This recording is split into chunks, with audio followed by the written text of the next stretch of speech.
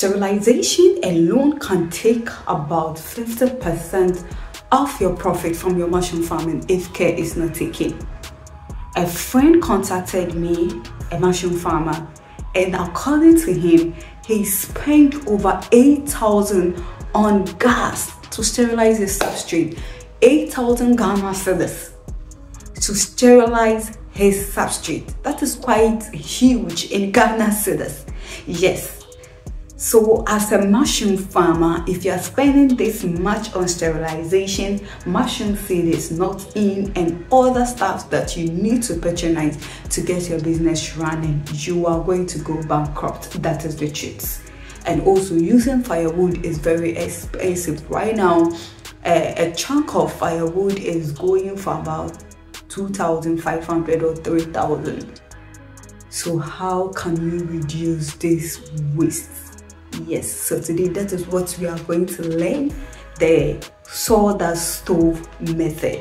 It requires less firewood so you conserve energy and save money. And then sawdust is free we don't sell it. So it's just about where you go for your sawdust and then you bring it to your farm and it becomes very easy. So join me today let's learn how you can build your durable um, sawdust stove um, which is which saves energy for your mushroom sterilization process. It's your girl, the crown princess of the edible fungi kingdom. So join me, learn.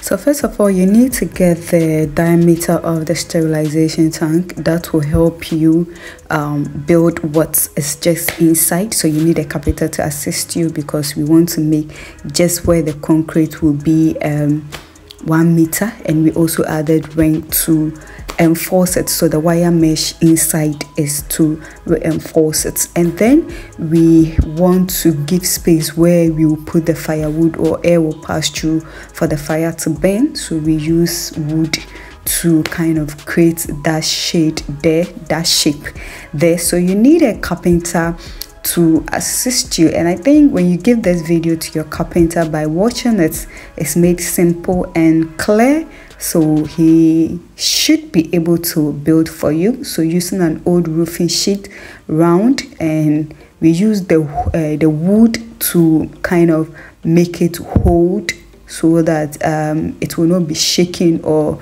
remove or form a different shape when we are about to fill our concrete. And we just want the concrete section to be just one meter. And the middle we fill it with the sawdust because we don't want the concrete to go inside or block um, where we will set our fire. So we kind of filled everything with sawdust. So aside the sawdust you can fill it with sand so it's not compulsory to fill with sawdust. You can use the sand and then fill that space whether it's and as you are filling you press so that um, the the roofing sheet with the wood that we've created will kind of hold in place. It will not be shaken or easily removed.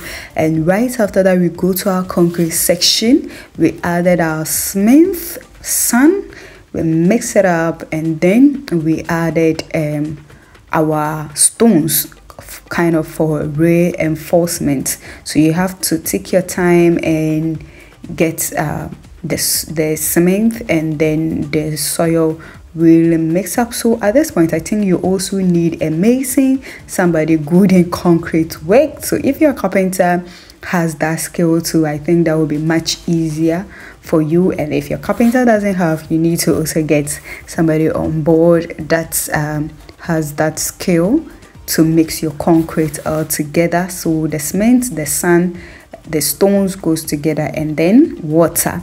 We mix it very well and we make sure that the consistency is a bit um, smooth and it's not um, kind of liquid too much liquid or too much solid or hard together. So you can see the consistency like a bit liquid. The water kind of a bit too much and then we pour into that space that we created um, like one inch. So the space is kind of a bit like one inch. So we make sure you shake you hold the ring um, that is the net ring that we kept inside for reinforcement too so you kind of hold it and then whilst uh, whilst you are filling your concrete into it you shake it so that there will not be air spaces and bubbles or like misarrangement of the concrete inside. So you can use the shovel to hit it so that all the stones the soil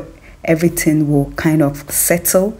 And then um, you can do just as it, as it is done in the video. So you can just watch and practice and then you finish it up by making the surface smooth. You don't want it to be rough it can cause farm injury you don't want it to have spaces where other like maybe when you are setting the fire so sawdust can fall there and it can catch fire and all that. So you have to level it up. Make sure it's very full well leveled and very neat and it's ready to allow to be cured or dry overnight. So we left it for 24 hours and then we allow it to dry.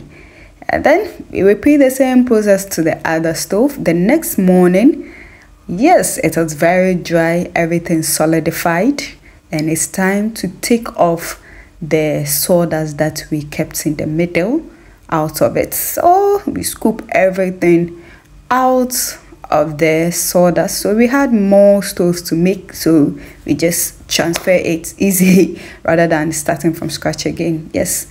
And then the ring that we we made to serve as the kind of a, a barrier between the middle of the stove and then how big or how the one inch that we wanted the concrete to have the shape. Yeah we remove that ring out. I don't have specific name of it.